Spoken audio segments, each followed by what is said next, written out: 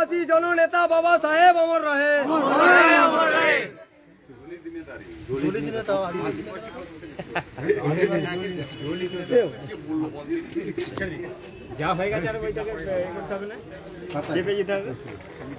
সবাই উপস্থিত সকলকে আমার তরফ থেকে ধন্যবাদ জানাই।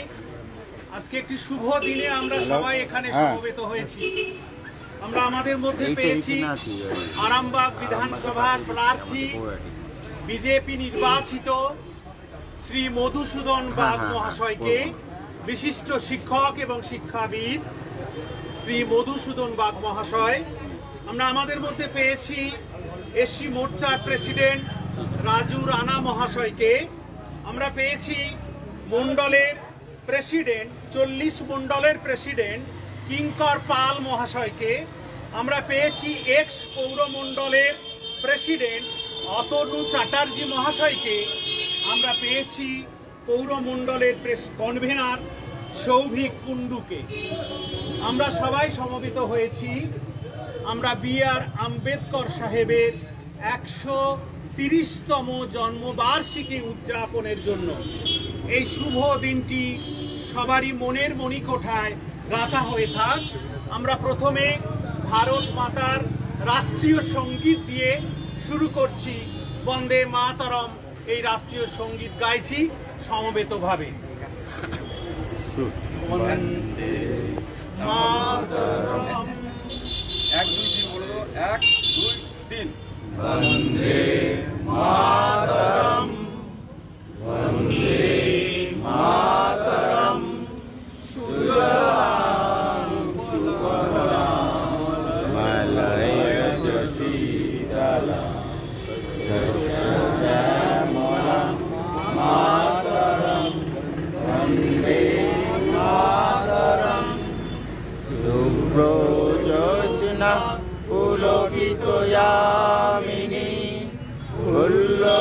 কুসুমিত তুমদর সৌবিনী সুবাসিনী সুমধুর ভাসিনী শুভদাং বরদাং মাতরম বন্দে মাতরম বন্দে মাতরম।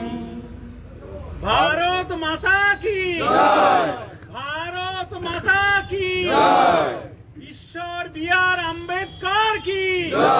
ঈশ্বর বিআর আম্বেদকর কি?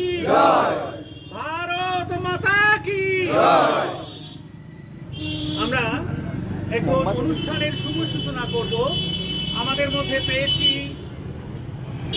মাননীয় মধুসূদন বাগ মহাশয়কে বিজেপি নির্বাচিত আরামবাগ বিধানসভার ক্যান্ডিডেট উনি প্রদীপ প্রজ্বলনের মাধ্যমে অনুষ্ঠানের শুভ সূচনা করছেন।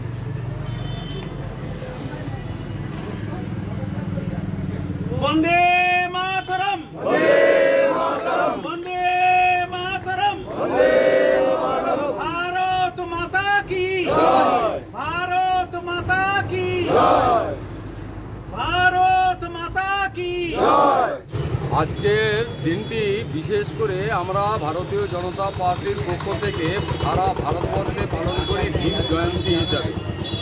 ডক্টর বি আর আম্বেদকর তার একশো তিরিশতম বার্থ অ্যানিভার্সারি চলছে আজ।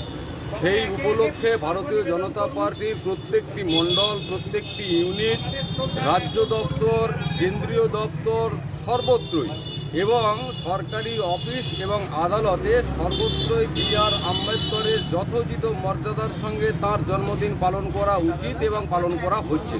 কারণ ভারতবর্ষের যে সংবিধান, সেই সংবিধানের রচয়িতা এই দলিত সম্প্রদায়ের মানুষটি সারা জীবন ধরে তিনি দলিত হওয়ার জন্য বহু অত্যাচার সহ্য করেছেন, বহু নিপীড়ন সহ্য করতে হয়েছে, বহুবার শোষণের শিকার হয়েছেন, বঞ্চনার শিকার হয়েছেন, কিন্তু তার অদম্য জেদ তার অদম্য জেদ তাকে শিক্ষায় পিছিয়ে রাখতে পারেননি।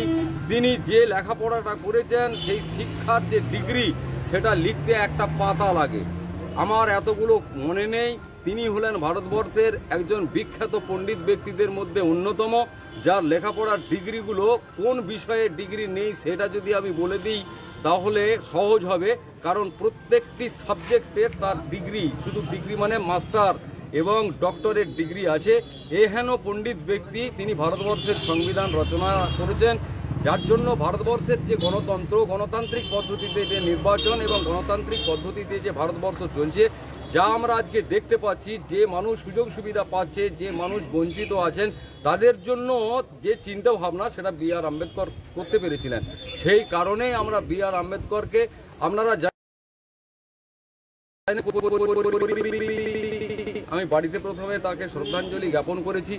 তারপরে আমি আসি প্রতি বছরই তার জন্ম এবং প্রয়াণ দিবসে আমি বাড়িতে তার প্রতিকৃতিতে মাল্যদান করি। করে বেরিয়ে যাই পার্টির বা দলের যে সমস্ত অনুষ্ঠান থাকে সেই অনুষ্ঠানগুলি অংশগ্রহণ করি। আমাদের এইভাবে এই দিনটিকে ভীম জয়ন্তী হিসেবে উদযাপন করা হয়। নিউনুর সোফা সেন্টার। এখানে সমস্ত রকম সোফা, পাইকারি ও রিটেলে বিক্রয় করা হয়। সমস্ত সোফা নিজস্ব কারখানায় তৈরি করা হয়। প্রোপাইটার হানিফ হোসেন খাঁ ও রুহুল হোসেন খাঁ। বড়ডোঙ্গল হাটতলা সিনেমা হলের সন্নিকটে হুগলি। যোগাযোগ seven seven nine seven one seven zero zero nine three এবং nine three eight two zero zero three one zero five. আগরবাতি, পেপার প্লেট, ডোনা, পেপার কাপের বিশ্বস্ত প্রতিষ্ঠান, এসপি ইন্ডাস্ট্রিজ, আমতলা মোড়, বসন্তপুর, আরামবাগ। এখানে সম্পূর্ণ অটোমেটিক মেশিন দ্বারা তৈরি করা হয় এবং হোলসেল বিক্রি করা হয়। প্রোপাইটার প্রদীপ কুমার ঘোষ।